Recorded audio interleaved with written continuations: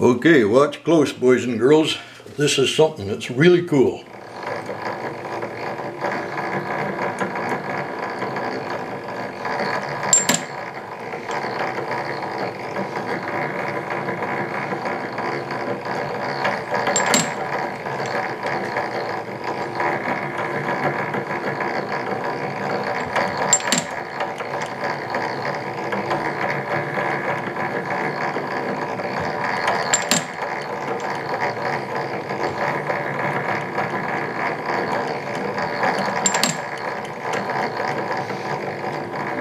Okay, you get the idea.